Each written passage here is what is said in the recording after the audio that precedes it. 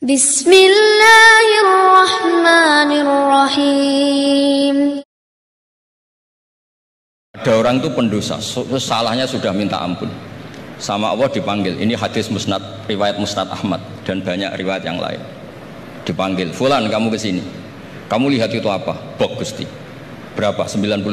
Per bok itu madul basor. Sepanjang mata melihat itu isinya dokumen kesalahan dia. Sehingga dia putus asa, dia akan masuk surga.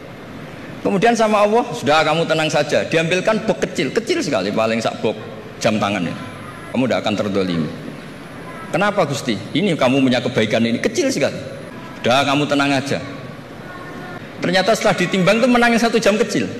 Karena isinya la ilaha illallah. Malaikat itu gak berani. Kamu berani, ada namaku kemudian kamu abaikan. Malaikat yang nimbang Pak Warsono itu diprovokasi sama malaikat yang lain. Kamu berani nggak mempertimbangkan kata Allah di situ? Wah ya tidak berani. Dibandingkan asma Allah itu tidak ada yang bisa ngungguli.